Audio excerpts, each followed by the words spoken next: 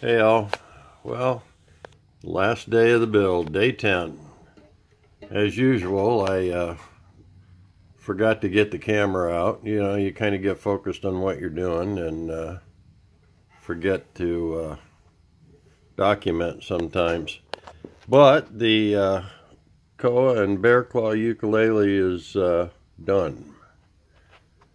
You can see she's got a beautiful gloss on her.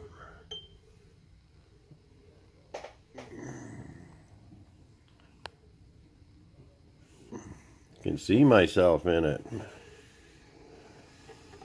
Nice uh, gloss on that bear claw top. Kind of hard to get it, but